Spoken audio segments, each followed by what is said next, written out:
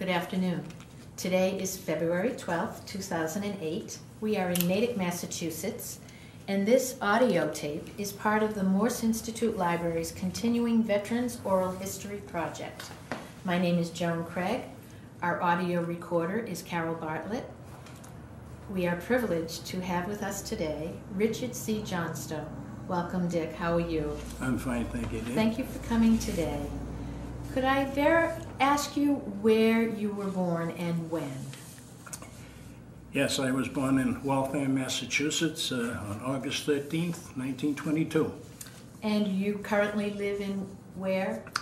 I live in uh, Nashua, New Hampshire. And your marital status? I am married for some 64 years. That's wonderful. That's remarkable. And your wife's name? Uh, wife's name is Marion. And do you have children? Yes, we have three children, uh, two sons and a daughter. And, And I might add, if? I, I'd like to add that we've got uh, three grandchildren and two great grandchildren and one great grandchild uh, on the way. So we, we've been uh, blessed with a wonderful family. That's great. Where and when did you enter the military? I entered in Augusta, Maine uh, uh, when I was a sophomore at Bowdoin College on August the 15th, 1942, and that was two days after my 20th birthday. And why did you decide to join at that time? Well, uh, it, it was the thing to do. Uh, most of us young guys were upset and angered, I think, a little bit at the Hitler and Japanese aggressors, and I think we just wanted to be a part of putting an end to what we think was, was an unjust war. And what branch of the service did you join? I joined the United States Marine Corps. Why? Why did you decide to join that? I think all of us young guys uh, thought that the Marine Corps was, was the best and the most exciting branch, and it had such a great history and such a great reputation, and we wanted to be a part of that history, I think. You were a sophomore at Bowdoin. Did family or friends or other classmates from Bowdoin join with you? Many of our uh, classmates, uh, Bowdoin classmates, uh, uh, joined when I did, and a lot of my uh, hometown friends, longtime friends, uh, also joined the different branches of the service. It was the thing to do at that time. And where were you sent for your basic training? I was sent to uh, uh, boot camp at Parris Island, South Carolina. Tell us what it was like. Well, it was completely different from anything I'd ever seen before. Uh, our sergeants uh, embarrassed us, they humiliated and belittled us, uh, both physically and, and mentally. Uh, we endured a lot of rough, rough treatment, but gradually we understood why we were being treated as we were. We, uh, I guess we, we learned to take it, and we became very proud that we could take it. What do you remember that you liked or disliked about boot camp? Well, uh, I think I liked the, the competition. I liked the camaraderie, and and uh, I liked the challenge.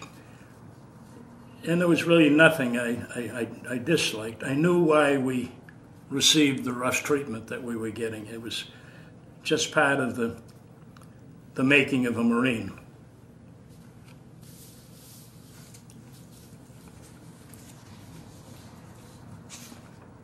Did you receive any advanced or specialized training beyond basic training?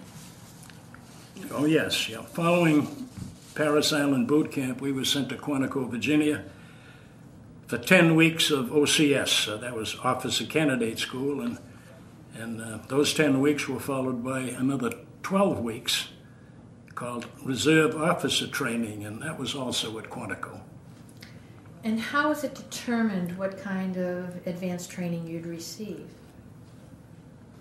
Well, we were really earmarked from the very beginning as college kids who, who might have officer potential. And when we arrived at Parris Island, we were assigned to an officer candidate platoon. And if we survived boot camp, uh, we were expected to be sent to Quantico for officer training. And that was the plan, really, from the very beginning. And as a result, um, was that your specialty during the remainder of your military career? Well, as I say, we were trained from the very beginning to be Marine Corps uh, infantry officers, and we expected that I guess most of us would end up fighting the Japanese in the Pacific Theater. And where was your first duty station after um, schools that you attended? Well, after successfully graduating from uh, OCS and, and Reserve Officer Schools, uh, I received orders to uh, report out to uh, Camp Pendleton in Oceanside, California, to be assigned to a, a Marine Infantry uh, Combat Division. Were you sent there uh, individually or were you part of a unit? I was sent there as an individual. What did you do when you were there? Well, I became a member of H Company, 3rd Battalion, 27th Regiment, in the 5th Marine Division, and I was a second lieutenant officer, and they put me in charge of the 60 millimeter mortar section in that company.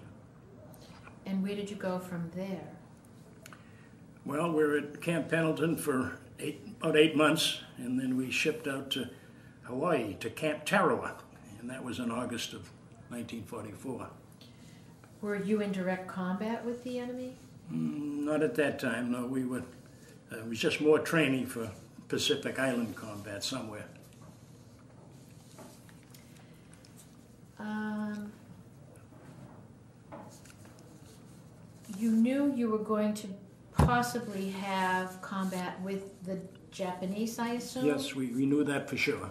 And when and where? Or Well- going to Hawaii, did you know what your next step was? No, be? we, we didn't know at that point uh, where or when, but of course we knew it was going to be against the Japanese.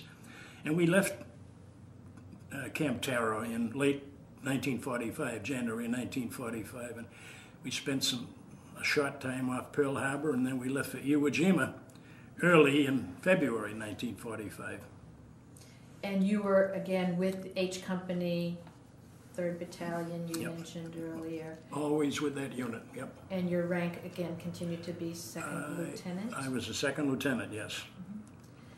Tell us about the air and naval support that you had. Well, Iwo Jima was built into a super fortress, and for many, many years, uh, underground tunnels and rooms and passageways were built deep under the hills, uh, several stories deep in, in some cases. And, uh, and these tunnels and rooms and passageways uh, ran underground the entire five mile length of the island, uh, all the way from Mount Suribachi at the south end uh, to Kitano Point at the north end of the island. And the big Japanese guns uh, rolled on tracks in and out of these hills.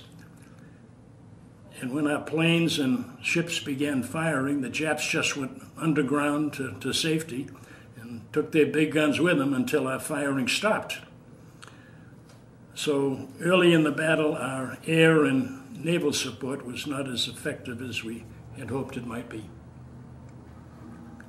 So eventually, did it get better? Yes, yeah. Eventually, it, it took a while, but eventually it was uh, it proved to be effective. Being on this island, were your clothes and uh, gear adequate for the climate? And do you remember what the climate was like? Yeah, well, the, uh, the, the climate was moderate, and uh, I, we had Marine Corps dungarees and so forth, and, and uh, they, were, they were fine. They were suitable for us. And what was the terrain like? Well, the beach where we landed was black and soft, uh, almost ash-like. It was volcanic ash. It was difficult to walk on and, and certainly very hard to crawl on. And the ground in places was uh, rough and rocky, and there were some high hills, and, and of course there was this very large volcano, Mount Suribachi, uh, at one end, and of course that was where the famous flag raising took place. And that was, if I might ask, after you landed on Iwo Jima? Yes. mhm. What What else? What else did Iwo Jima, Iwo Jima remind you of? You know, for, for the most part, it looked very barren. Uh, the, the trees and foliage had pretty much been cut down. It was a, a pretty desolate looking place uh, for the most part. It, it did have some, some hills throughout the island. And you were an officer. Do you feel you and other officers uh, were good leaders? I think so. I think we were trained well, uh, and uh, uh our men, I think we responded to uh, our orders and what we were supposed to do, and, uh, and, and I think the men appreciated what we were doing for them. And were you ever wounded in combat? No, not actually wounded, but however, on a second day on the island, as we were moving out in the attack under very, very heavy Japanese mortar fire, uh, I was hit on the left shin with a spent piece of shrapnel that uh, uh, knocked me very quickly to the ground and was not a serious injury as I had on a pair of knee-high paratrooper boots, and I have no idea where I got them. But uh, had I been wearing regular Marine issue boots, uh, I might have suffered a broken leg. And uh, my assumption is you got medical attention for that. Would you evaluate the quality of the medical care you received? Uh, really, uh, doctors and medical corpsmen did an outstanding job uh, under pretty difficult conditions. And the corpsmen especially did, did a great job uh, treating the wounded uh, while under fire and uh, uh really unbelievable. And one of our corpsmen, one of our H Company corpsmen, a fellow named Howland Willis, uh, received the Congressional Medal of Honor for, for outstanding bravery. Did you hear about the progress of the war in other areas? we received some reports, really not, not very much. How did you receive your news? Well, uh, word of mouth, when we were rehabbing in a, a rear area for a, a day or two, and I might add that rear areas were not very rare. They might be 500 to 1,000 yards behind the front lines. So rehabbing meaning you were on the front line and then you would go back and someone else would go on the front line? Periodically mm-hmm. we, we would do that. We'd be on the front lines for uh, two or three days and then we would be relieved and go to a rear area, as I say, a few hundred yards behind the lines for rest and little little relaxation, and then we'd take our turn again up on the front lines, and it was we, we did that all during the battle. And where did you go? How long were you in Iwo Jima? Uh, we were on Iwo Jima from uh, uh, just about 32 days, as I recall. And from there, did you go back to Hawaii? Yeah, we went back to Camp Tarawa again in Hawaii, and we're getting ready for the invasion of Japan.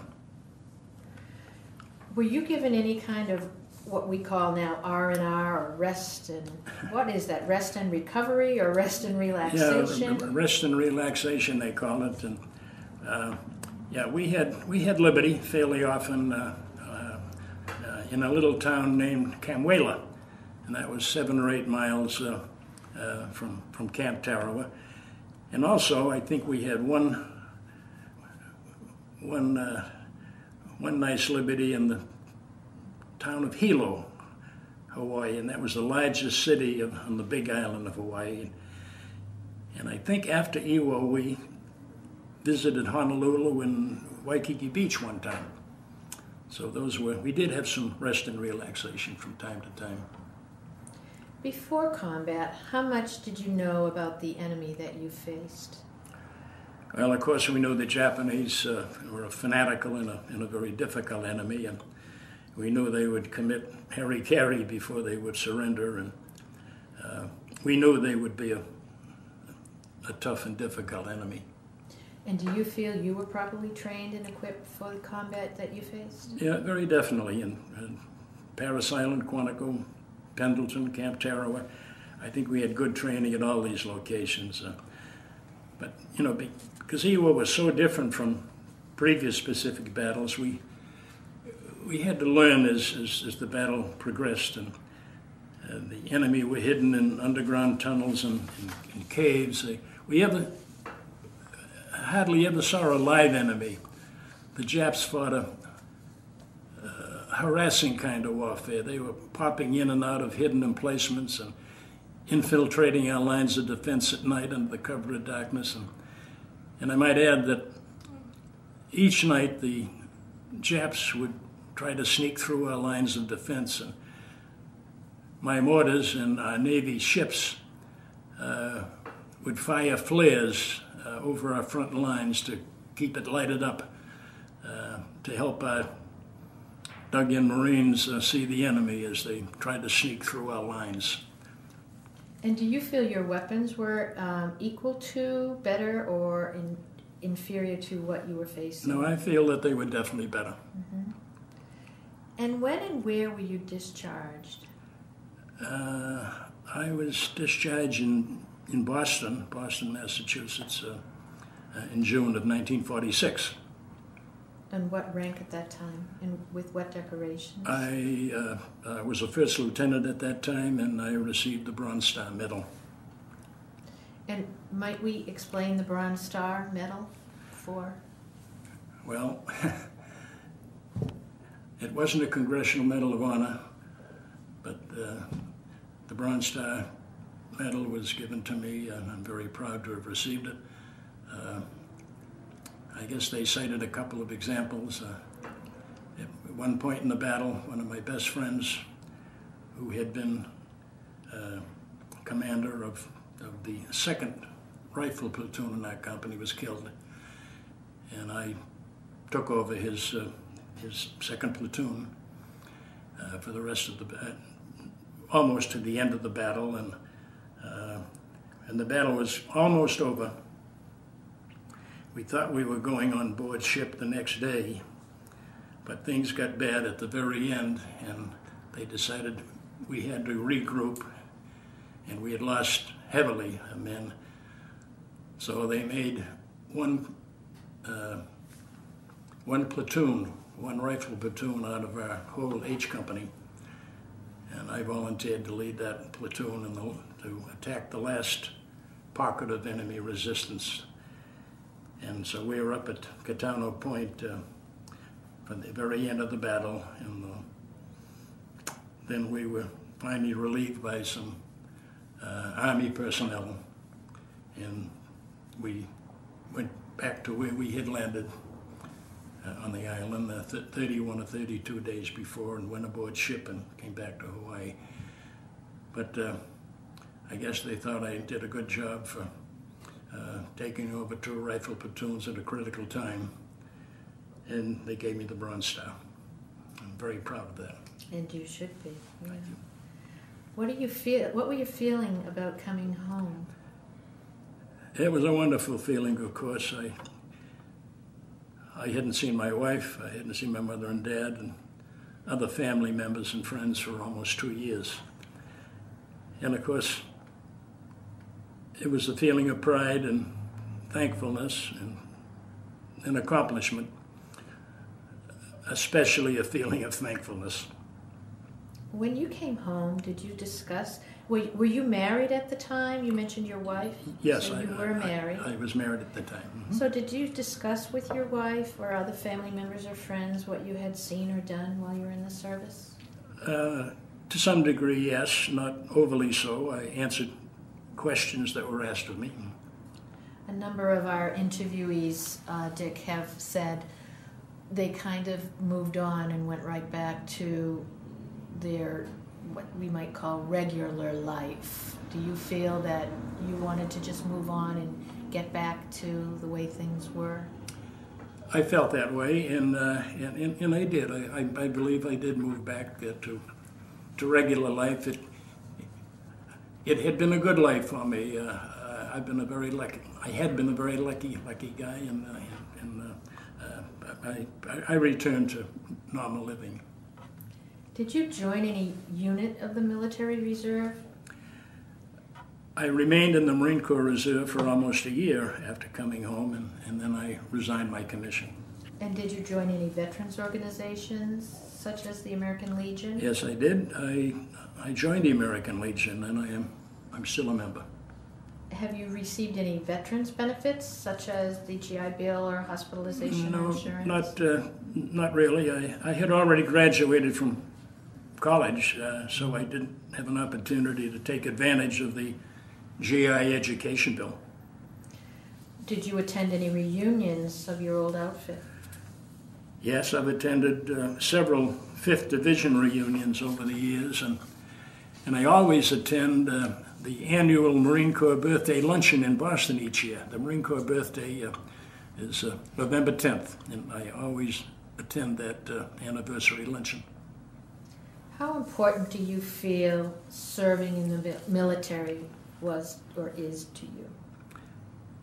As I look back, uh, I think it was very important. Uh, I think it taught us teamwork and loyalty to others, and uh, I think it taught us to live by the Marine Corps motto Semper Fidelis, Semper Fi, always faithful, and it's a motto I try to live by. And and I, I have to tell you that I, I saw many instances of young men being certainly being faithful to their buddies, risking their lives to, to, to help their buddies, uh, shouting warnings if they saw a Jap suddenly appear, or uh, if one of their buddies was in, suddenly in danger, or if a, if a buddy was wounded. And, and I have to say again that the faithfulness and the bravery of the corpsmen uh, was, was almost unbelievable.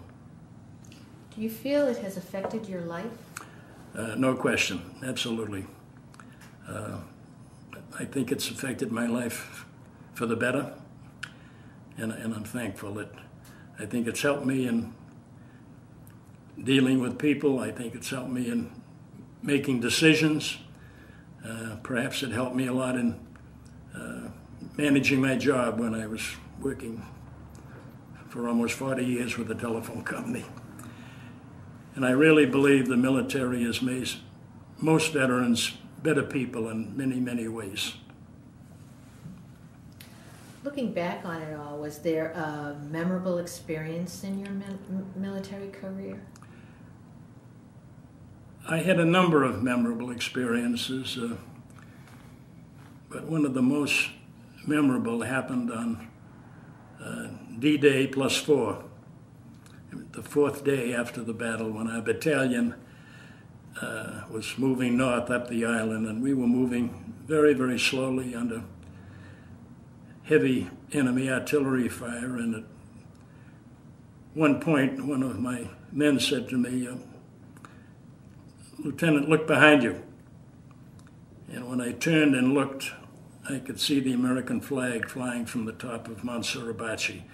And I knew then that the 28th Regiment had taken that very critical Japanese stronghold. And I guess seeing that flag gave me a, uh, a feeling of pride and, and confidence, a feeling that nothing was going to stop us from winning this battle and, and winning the war. It was a, a memorable and an emotional experience. How about a character, a memorable character? Yeah, we we we had a number of character, characters, I think, but but there was one in particular, and he was a very special character uh, in our boot camp platoon at Parris Island. He was a big guy, uh, an outstanding college football player, uh, a happy-go-lucky guy, a guy who made us laugh when he imitated Winston Churchill with his V for Victory sign uh, while puffing on a cigar. Uh, he was a good guy, a good Marine, and, uh, but he was a real character. Was there a humorous experience you'd like to share with us? Yeah, we had several, I'm sure, but but the one I recall in, in, involved uh, the same character that I just mentioned. And I'll never forget one day, uh, it was near the end of our training at Parris Island Boot Camp. Our platoon sergeant was proudly showing us off. Uh, we had become very good marchers, and he was proud of us. And at one point, the sergeant barked out the command by the right flank, Halt! And the entire 40 man platoon turned to the right, except for my pal, who all by himself turned left. And the sergeant was furious, really, teed off. And uh, especially to have this happen in front of some of his competing drill instructors. And he halted our platoon and stood us at attention, and then he walked over to my guilty friend who was standing off to the side all by himself. And the sergeant looked up at this very big former college football player and loudly asked, Why, when the command was to the right, you turn left? And my friend, realizing that he had to answer the question, rather sheepishly replied, I was excited. the sergeant then told my friend that he obviously didn't know his right from his left, and he said, I'm going to teach you. And he stomped rather heavily on, on one of my friend's feet. And he told him in a loud voice, You'll now know which is which. Your right one is your sore one. And uh, I might add that the sergeant didn't stomp hard enough to cause injury, but he stomped hard enough that my friend, I'm sure, will always remember his right from his left. That's great.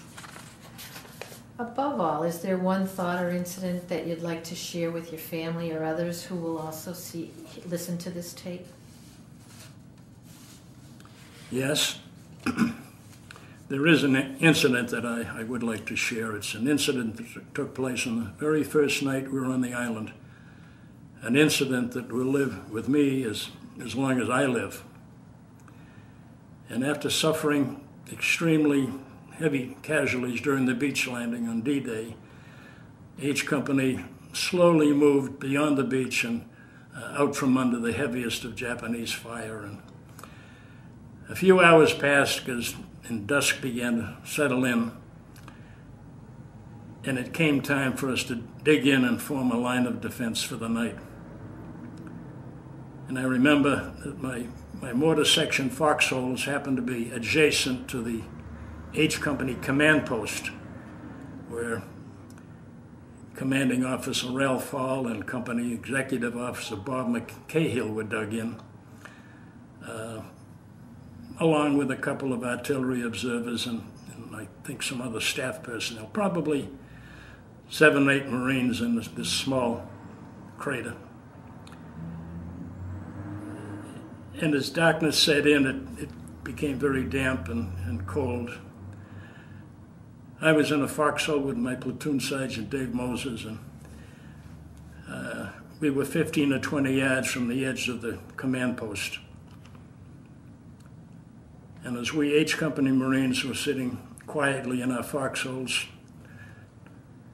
two men to a hole, we were watching and waiting, and there was an uncomfortable silence everywhere. The Japanese were known to counterattack on the first night, and we were expecting that attack. Time went by, and we continued to watch and, and, to wait in the quiet darkness. It seemed that hours had gone by, and no sign of the enemy, no indication of a counterattack. When, but suddenly, at about I think about 9 or 10 o'clock, the Japanese let loose with a tremendous bombing attack. Bombs fell, fell all around us throughout our H Company positions. And, and at one point, we heard a tremendous explosion very, very close to our foxhole. And we knew that the command post had taken a direct hit. And we heard cries calling for corpsmen. Dave Moses and I crawled to the command post to find everyone dead or badly wounded, and a couple of corpsmen were tending to those who were still alive. Captain Hall was terribly wounded, bleeding badly from the chest area. And a, corpsman was attempting to administer plasma to the captain. And, and when the corpsman saw me, he he asked that I hold the captain in my arms as he administered the blood. The captain was in shock, but he recognized me and spoke to me very, very slowly and very softly, saying, Johnny, this is rough. And he closed his eyes and he died as I was holding him. I think often of my Marine Corps experience. I think often of the Battle of Iwo Jima. And I think of the many casualties that we suffered. But in all my thoughts of Iwo, I, I still hear the words, Johnny, this is rough. I'll never forget those words. And I'll never forget my good friend, Captain Ralph Hall. And finally, I'd, I'd like to say in closing that I am most thankful for the good life that I've had and I'm still having at age 85. My friends, my family, and, and my God have all been good to me. I, I couldn't have asked for more.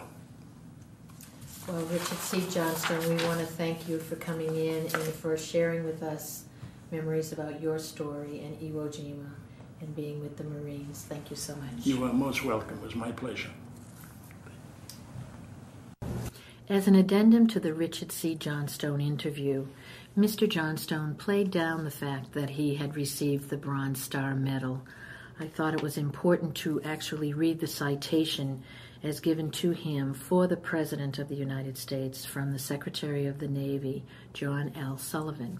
And it reads The President of the United States takes pleasure in presenting the Bronze Star Medal to Second Lieutenant Richard C. Johnstone, United States Marine Corps Reserve, for service as set forward in the following citation for heroic achievement as a mortar section leader and later as an acting assault platoon leader of the 3rd Battalion, 27th Marines, 5th Marine Division during action against enemy Japanese forces in Iwo Jima, Volcano Islands from 19 February to 23 March 1945. When the leader of an assault platoon was killed during an attack on 13 March and the platoon became badly disorganized, Second Lieutenant Johnstone reorganized the men into an efficient fighting unit and immediately pushed forward in a successful attack upon a series of stubbornly defended and mutually supported cave positions. On 17 March, after reorganization of the battalion, he again volunteered to lead a new platoon in an attack against the last pocket of enemy resistance on the island. By his courageous fighting spirit and devotion to duty throughout, he contributed materially to the success of his battalion during the operation and upheld the highest traditions of the United States Naval Service. Second Lieutenant Johnstone is authorized to wear the Combat V. For the President, John L. Sullivan, Secretary of the Navy.